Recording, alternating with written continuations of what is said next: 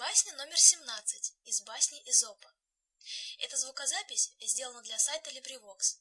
Все звукозаписи LibriVox являются общественным достоянием. Для более подробной информации или регистрации в качестве волонтера, пожалуйста, посетите LibriVox.org. Звукозапись сделана Гузель Тухватулиной. Басня Изопа. Перевод Льва Николаевича Толстого. Басня «Лисица и виноград».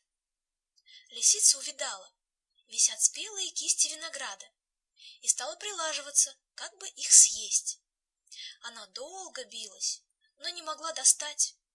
Чтобы досаду заглушить, она говорит «Зелено еще». Конец басни «Лисица и виноград». Звукозапись сделана Гузель Тухватулиной. Клинтон, Tennessee, United States, September the 8th, 2008.